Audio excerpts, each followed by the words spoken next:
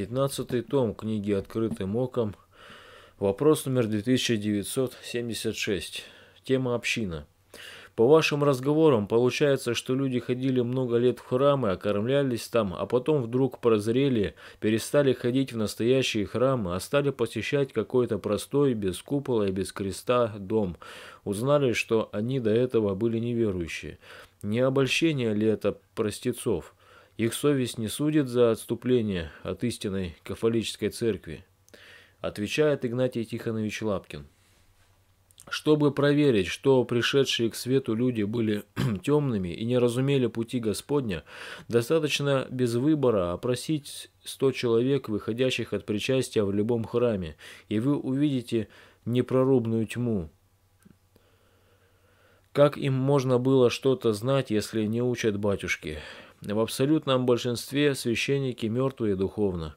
Они жируют на грехах народа, им чрезвычайно выгодно держать народ в преддверии ада, чтобы можно было снимать ясак с, не, э, с невежествующих и слепотствующих кормильцев.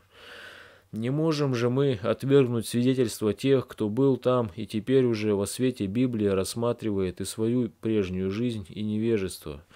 Первые христиане не знали никаких куполов, колоколов, крестов на крыше. Им нужно было скрываться. Но сердца их горели огнем любви к Господу, и они повсюду свидетельствовали о любви Иисуса. Евангелие от Иоанна, 20 глава, 19 стих.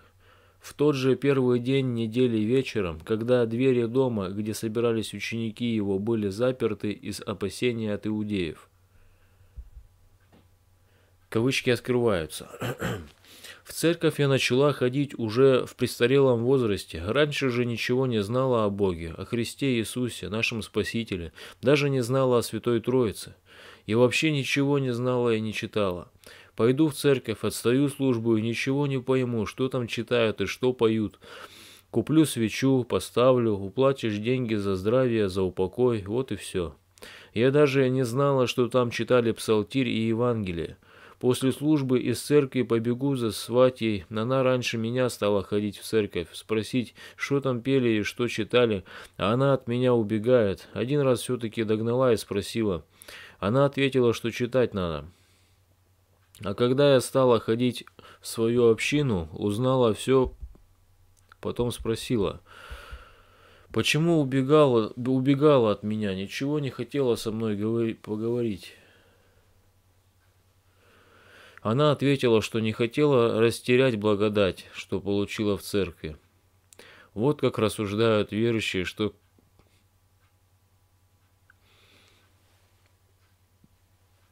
Вот как рассуждают верующие, что когда нужно проповедать о Христе и объяснить, они убегают.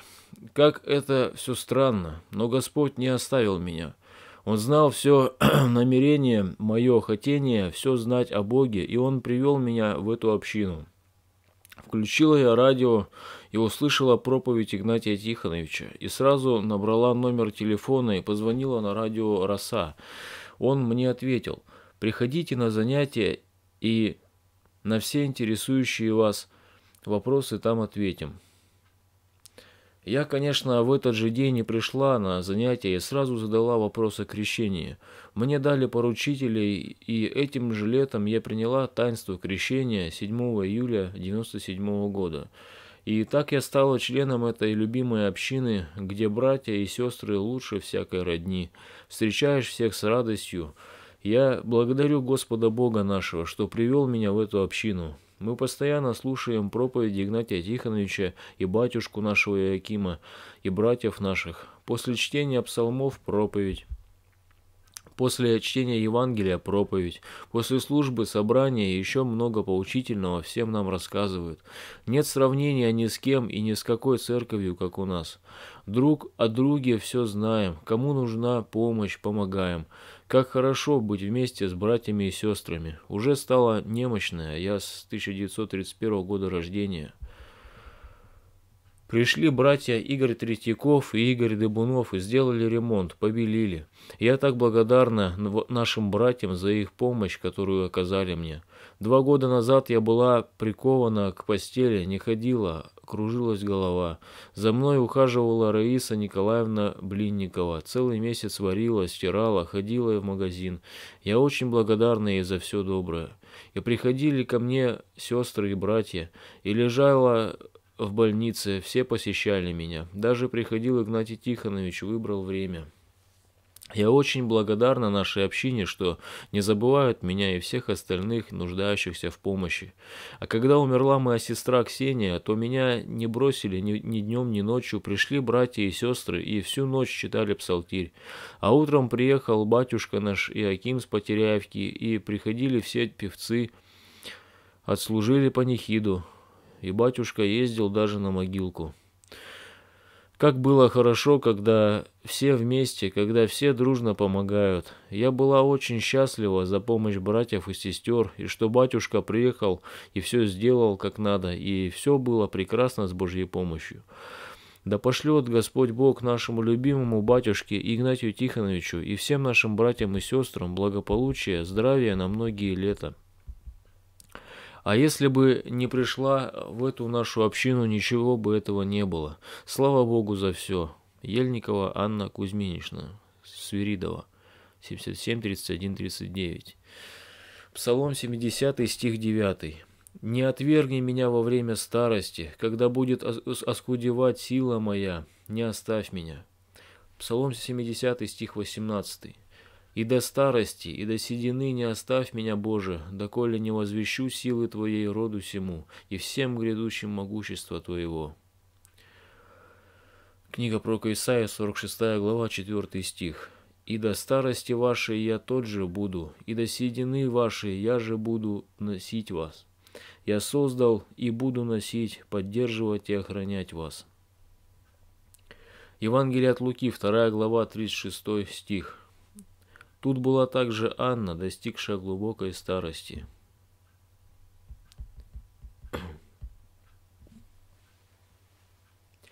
Преступно и вдвойне о завтрашнем не думать. Что ждет за высев злобы по весне, не думай, что самый лучший умник всем нераскаянным приходится краснеть. Жестокость порождает волчий вой, от жадности родится лишь рычание, ведь старость жнет, что сеял молодой, нередко нынешние завтрашним кончали. Кто промолчит о Божьей благодати, не высеет евангельские строки, ждать обращения душ с какой же стати, когда словам Христа все явно против. Сегодняшнее под прицелом в завтра, кто будет жить в моих апартаментах, и за столом моим, как я за партой, а на суде Бог выставит отметки. С проглядом в будущее сеем неустанно, распахиваем словом целину. Столб облачный руководит пусть станом, чтоб в горе легче проглотить слюну что высеем делами и словами, оно не сгинуло, но зримо, плодоносно. Не раз жалеть, что сразу не сломали, тысячекратно отрыгнулось после. Не научил ли деток верить в Бога, бояться в муку вечную попасть, а завтра подтянула раньше срока бессовестность, горючую напасть? Сегодня как-то вроде ничего, еще сойдет, не вылезла наружу, но завтра нам дает под зад пинком, снимать начнет в жару и в холод стружку. Пусть завтра не наступит, обойдет. Хочу и в сегодняшнем быть с Иисусом вместе. И если до сих пор то было невдомек, сознаться, что не зря толчет мой пестик. 8 февраля 2006 года. Игнатий Лапкин.